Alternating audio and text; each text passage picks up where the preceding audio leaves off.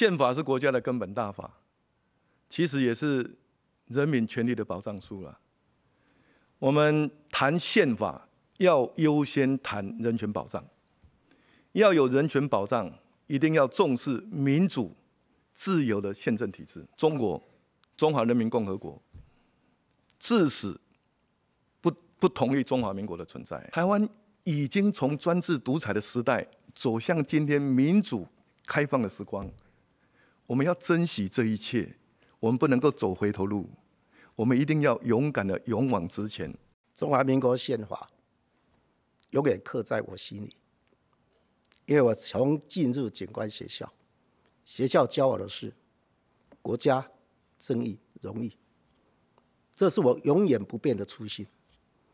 我所有所作所为，就是要过台湾这个土地所有人的安全，过咱有一个幸福的好日子。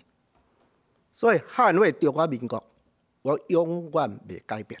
因为我做我遮清楚，我反对一国两制，爱过咱中华民国民主主义的体制。原因，我真的听到我们的赖主席对中华民国的宪法完全不理不睬。你今天当中华民国宪法的副总统，你嘛做四年呢？你今日反对中华民国宪法，你就勇敢讲出来嘛，行出来嘛。你不需要严严实实嘛。今天我们三个人站在这里，我们是要竞选中华民国的总统，既不是美国的州长，也不是中国的省长。中华民国宪法当然是我们现在遵守的。所以刚才问说你认同不认同？如果我们不认同，我们今天有什么资格站在这里选这个？所以这个中华民国宪法，我们还是要认同。其实我们这些实际有访问过美国跟日本，都知道台湾在现阶段不可能统一，也不可能独立，这是现况。甚至我们在国内做民调，支持独立的七 percent，支持统一三 percent，支持维持现状是九十 percent。不管是永远维持现状，还是维持现状再统一，还是维持现状再独立。问题在现阶段，九十 percent 的就是要求维持现状啊。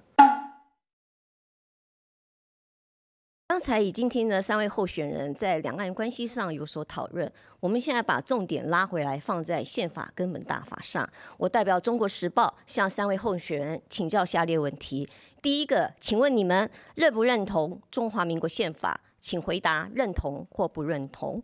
第二，在中华民国宪法对固有疆域已经有所规定。而征修条文里面有因应国家统一前的文字内容显示，台湾大陆同属于中华民国，也就是说，大陆也是中华民国的领土。请问认不认同？第三个问题，根据我们前两题的讨论，我们也可以反过来问：意味着目前两岸就是在中华民国底下的一国两制，分为大陆和台澎金马制度。请问你们认不认同？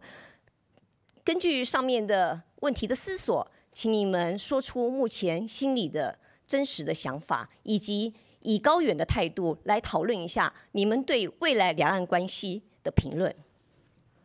请赖清德先生回答，时间两分钟，请回答。谢谢。因为国家是宪法是国家的根本大法，其实也是人民权利的保障书了。我们谈宪法。要优先谈人权保障，要有人权保障，一定要重视民主、自由的宪政体制。第二个，如果拿民国三十五年所制定的宪法来看的话，其实你会失望的，因为当年李登辉总统任内推动六次修宪，目前我们在台湾运作的这一部分是征求条文，也就是以台湾。为发展为中心的内涵的征修条文，在这种状况之下，我们当然呢，如果如果宪法或是其他的法律可以团结国人，我们当然要尊重要采用。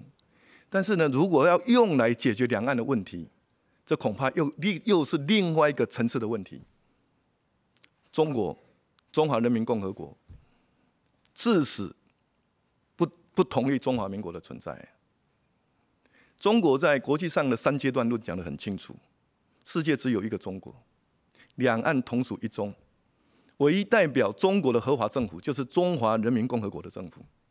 那你想想看，我们今天在在国内，把中华民国当作是两岸的护国神山，这到底是要促进和平，还是要给台湾带来灾难？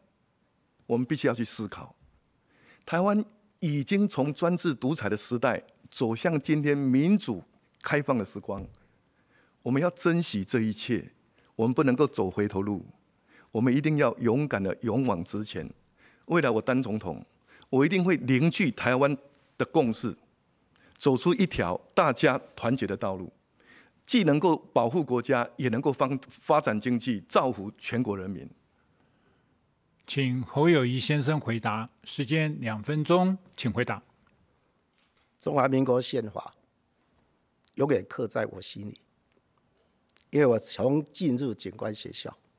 学校教我的是国家正义、荣誉，这是我永远不变的初心。我所有所作所为，就是要过台湾这个土地所有人的安全，过咱有一个幸福的好日子。所以捍卫中华民国，我永远未改变。今日我作我遮清楚，我反对一国两制，爱过咱中华民国民主主义的体制。所以两岸之间，刚刚讲了嘛，很清楚，就按照我们宪法法令，而且曾经在一九九二年，台湾在香香港会谈努力底下，互相不承认主权啊，互相不否认主权啊，才有办法开启这样一个协商的机制。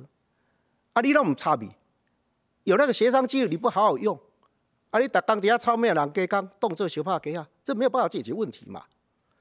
所以，民进党执政底下就污名化了两岸，实行了一国两制，并不适合形容两岸不同体制。第二日，中华民国宪法第一条规定啊，较清楚：中华民国基本以三民主义为民有、民治、民享之民主共和国，这个足清楚的嘛。所以台湾未来是两千三百万人决定嘛。第二日。